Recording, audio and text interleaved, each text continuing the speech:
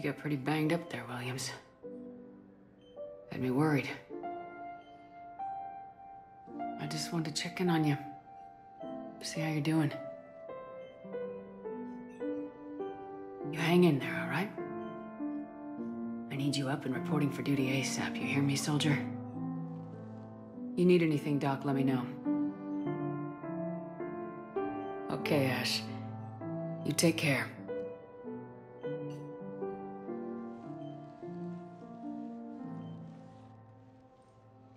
See you soon.